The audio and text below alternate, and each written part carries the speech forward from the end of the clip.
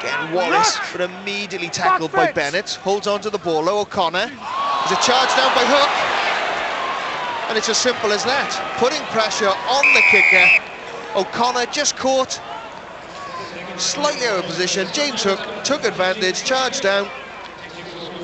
Great effort. Yeah, I was impressed with the uh, the Ospreys there. The blitz defence. Each player putting pressure on, pressing the, the, the, the Ulster players into forcing, you know, forcing them backwards.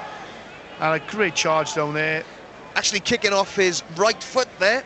Trying to kick off the outside of his right foot as opposed to putting it onto his left foot. And paid the penalty. And it's under the sticks, and I mean, that's great seven points. And what a great start to the second half.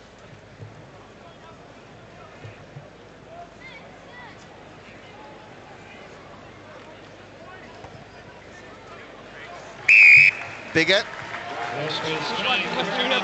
And in the extra two.